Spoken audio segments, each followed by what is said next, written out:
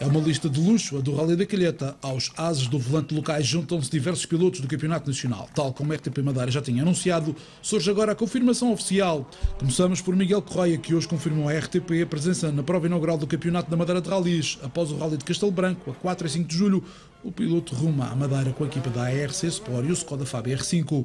Ricardo Teodósio, também da equipa da ARC, procura apoios para estar à partida do Rally da Calheta.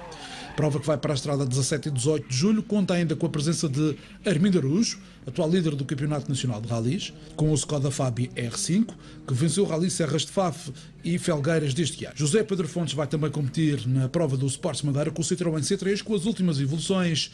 Bruno Magalhães também estará à partida na calheta, também para antecipar o Rally Vinho Madeira, piloto que já venceu por quatro vezes, agora tripula um Hyundai i20 R5. João Barros disse à RTP que equaciona marcar presença no Rally Vinho Madeira. Paulo Caldeira, que regressa à prova principal do Campeonato Madeirense com o DS3, já que na prova de Castelo Branco vai competir com o C3 que foi utilizado por Pepe Lopes. Outra presença de destaque na prova que lhe tem será de Pedro Almeida, que estreia na ilha o Peugeot 208 Rally 4, a nova aposta da marca francesa para a modalidade.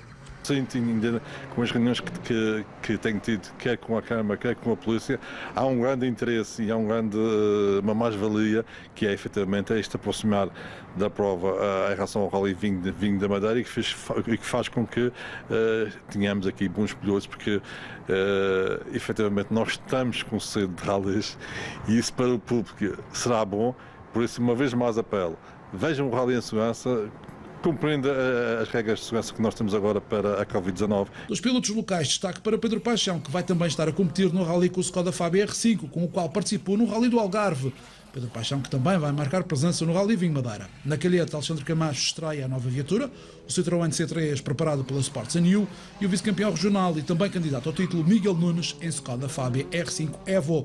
Faz parte da lista, ainda há que contar com o Ford Focus WRC de Rui Pinto e o Peugeot 208 R5 de José Camacho. Será uma luta de gigantes.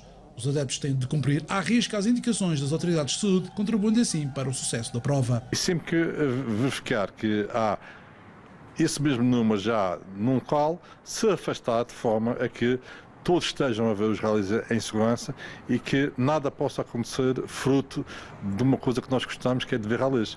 Portanto, o que eu faço aqui é um grande apelo a que todas as pessoas que foram para a estrada ver o, o rally, que uh, vejam o rally em segurança, mas pensando na sua segurança, não propriamente naquela segurança que sempre pensamos até agora, que foi a de uh, um, um acidente, mas sim na saúde pública.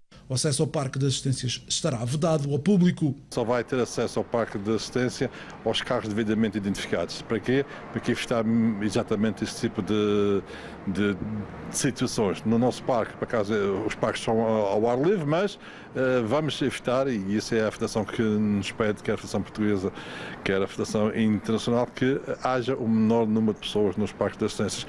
Poderão uh, estar a ver, especialmente no Parque do Funchal do Rally Vinho, Vinho da Madeira, vai haver a oportunidade das pessoas estarem a ver a alguma distância, mas não estar da forma como sempre tivemos até agora. Segundo a organização, o alojamento local para o Rally da Calheta já está completamente esgotado para os dias 17 e 18 de julho.